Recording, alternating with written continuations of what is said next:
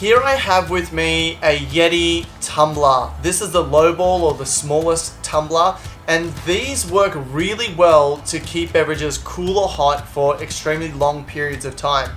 In fact, the Yeti tumblers can keep ice for up to 24 hours in a metal cup.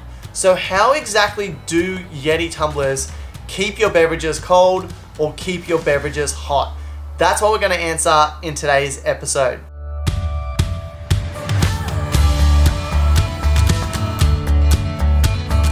Hey, I'm Ryan from thecoolerbox.com and I purchased this tumbler about three years ago. I used to have a larger one, but it got lost in the move. I do still have my RTIC tumbler here, which uses the same technology and works in the same way. So what we're gonna do in this episode is go in depth in exactly how these work to keep heat out or to keep temperature out or to keep temperature in the tumbler because it's actually very, very fascinating. So in this tumbler, while it just looks like a metal cup, it's actually got an inner wall and it has an outer wall and there's actually a gap in between there. And now in between that gap is a vacuum. So they suck all of the air out of that. So there's basically nothing in there or as close to nothing as they can get.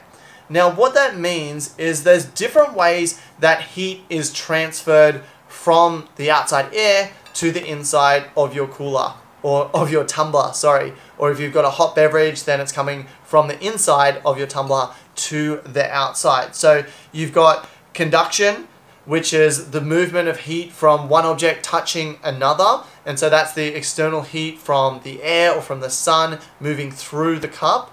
Uh, you've got convection, where air currents might move heat around or water can have currents as well and then you've got radiation. And this actually effectively stops all three of them or minimizes them as much as possible. So we're getting a bit technical here, but conduction actually needs particles for heat to move through. And so because there's a vacuum and because there's nothingness in between these two walls, there's actually no way for heat to pass through in conduction. In fact, the only way for it to do that is to actually hit the cup and actually pass through at the top here where the inner wall and the outer wall is connected. So at the bottom, the bottom isn't connected to the bottom here. There's actually a vacuum between the bottom. So the only connecting point is the top up here. And so it would need to move from there all the way up and all the way in. And that just doesn't really happen. And that's another reason they're made out of stainless steel because stainless steel is a terrible conductor of heat. So it's an insulating material, which means the heat is unlikely to move from the outside up and around and in. So that is how it reduces conduction. Convection as well is the movement of particles. So let's say you make a really like in the bath, right? You make a really hot pocket of water by turning the tap on hot and you push it around and you push the hot water from one side to another. That's convection. And so when you have a vacuum, there's nothing to move around. So convection doesn't happen. And then the last one is radiation. So the sun's rays, obviously they travel through space, which is a vacuum, and they still heat up the earth. So there is radiation always happening and going through the vacuum. So even though it's a vacuum in this, doesn't protect it against radiation. But what actually happens, and I'm going to show you another video that someone else has done where they've actually cut this open. Really amazing video, and I'll link up to it down below. You can see that the interior is actually copper plated, or there's copper on the outside of it. So copper is a great reflector of radiation. And so having that copper lining actually reflects the radiation trying to get in. So as you can see, these work by stopping the three ways that heat are transferred. Stainless steel, terrible conductor of heat, so that's helping as well. And then the copper cladding is keeping out the radiation. So it's a really cool piece of technology. You wouldn't think that a metal cup could work so well.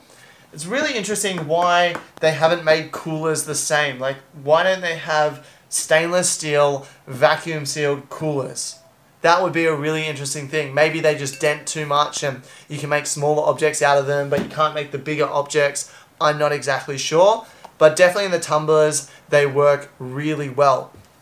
Uh, this low ball, I've lost the lid for it.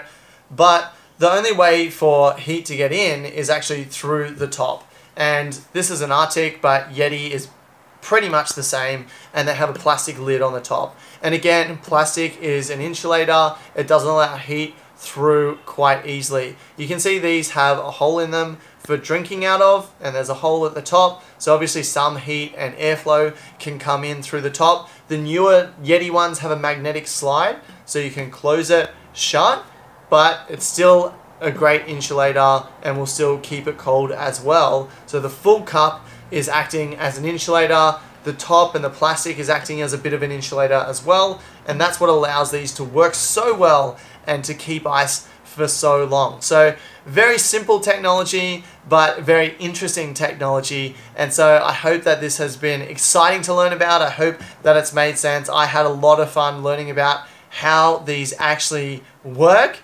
Really, really cool. If you're interested in purchasing one of these cups, then I will link up to the main sizes down below. You can go ahead and check them out on Amazon.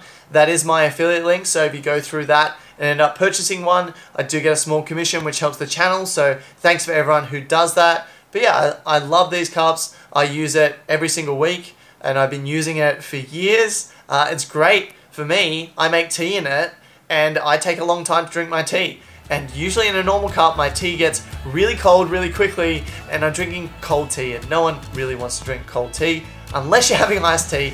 And, but if I make it in here, it's not as pretty of a teacup but it definitely keeps it warmer for a lot longer.